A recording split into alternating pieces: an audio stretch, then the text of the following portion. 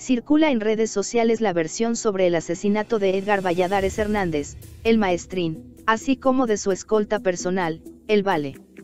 No se menciona la forma o lugar del ajuste interno. Ambos habrían sido ejecutados por órdenes de los jefes del CDG, entre ellos, el contador, cumple con el pacto que hizo con el gobierno federal.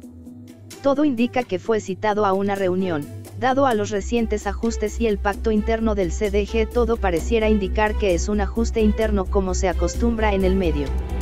Otra versión apunta que ambos fueron localizados esta mañana en el interior de una camioneta Dodge Ram que se encontró en la autopista Reynosa Matamoros a la altura del ejido Palo Blanco. Versión. Por la madrugada, alrededor de las 1.20 horas, se reportó una camioneta atravesada en un desnivel de la carretera Reynosa a Río Bravo. Ahí los agentes detectaron una camioneta Dodge Ram color verde con diversos impactos y en el interior hallaron dos cuerpos asesinados a balazos. Estos hechos se pudieran ir relacionando con la muerte de El Taquia. Más información en el blog del Narcocom.